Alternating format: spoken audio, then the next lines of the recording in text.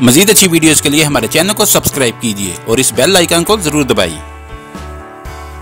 حضرت محمد مصطفیٰ صلی اللہ علیہ وآلہ وسلم کھانے میں کھجور اور سبزیوں میں کدو کو بے حد پسند فرماتے تھے۔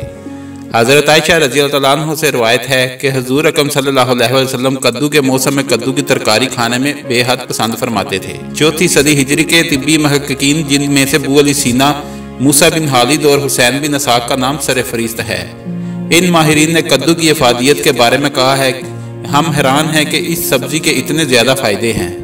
کدو کے چھلکے کو خشک کر کے اسے جلا کر اس کی ہاک بنا دیں یہ ہاک چاکو یا چھری یا تلوار کے زخموں سے جاری ہون کو روکتا ہے اور حیران کن طور پر ہون کے بہنے کو بند کر دیتا ہے۔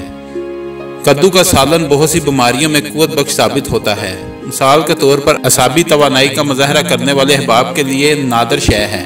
موسم گرما میں اکثر بچوں کی آنکھیں دکھنے پر آ جاتی ہیں۔ بہار چڑھ جاتا ہے، چڑچڑاہٹ پیدا ہو جاتی ہے۔